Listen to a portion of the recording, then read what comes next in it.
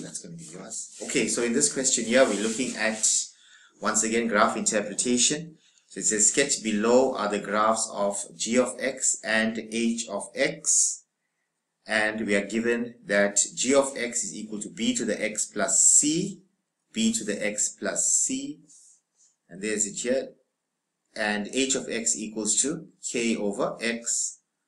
A, the point of intersection of g is 1 and 1. So we're given the point of intersection of the two graphs and there's it there. Okay, so what's g of x? g of x is an exponential function and h of x is a, what is that? It's a hyperbola. Hmm. Right, so we have, it says here, use the graphs and the information above to answer the following. Write down the values of k, c, and b. I hope you can see that. k, c, and b. Okay, so this is question 6.1.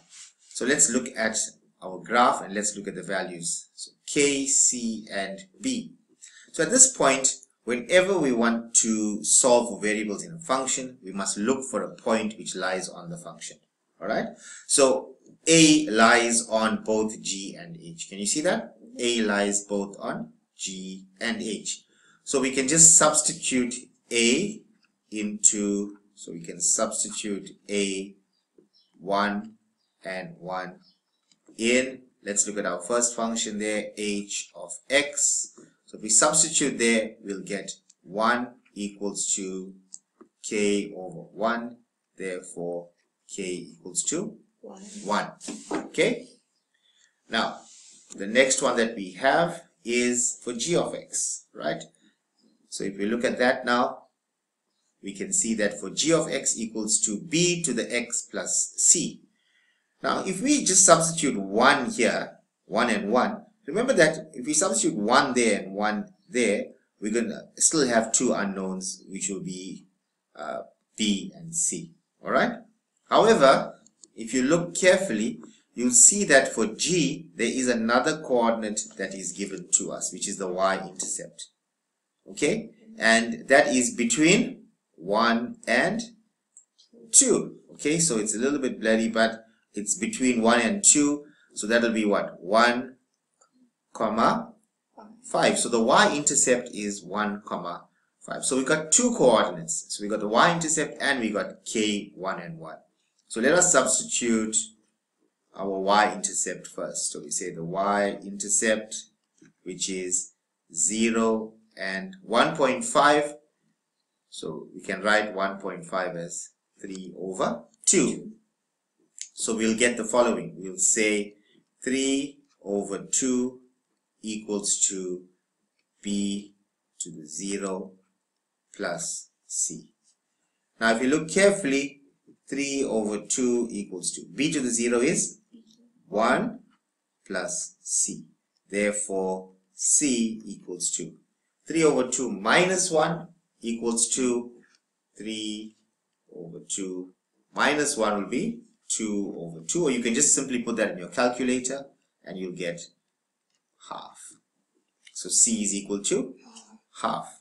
Now let us solve for B.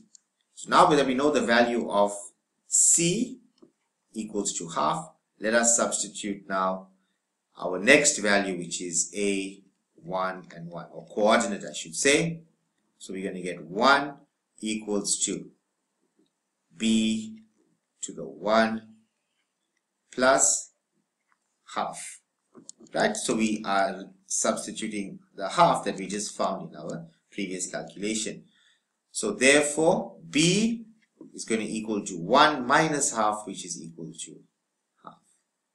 So quickly recap, we must look for a point which lies on our functions and in this case we got a 1 and 1 and we got on g we got two coordinates. We got a and we got the y-intercept so we got 0 and 1.5 okay? So just remember that when you are substituting into exponential function just make sure that you substitute the y-intercept first.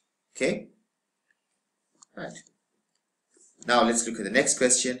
It says here write down the equation of the asymptote of g, the equation of the asymptote of g. What is an asymptote? An asymptote is an imaginary line that our graph goes close to but does not touch.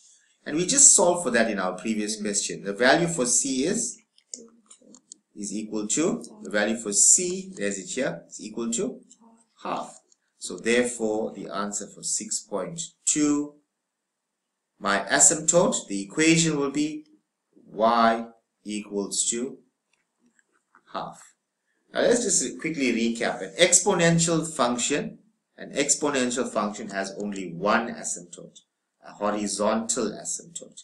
So that is why it's in the form y equals to a value. So that value is equal to half. And it is that, whatever that value is, the c value.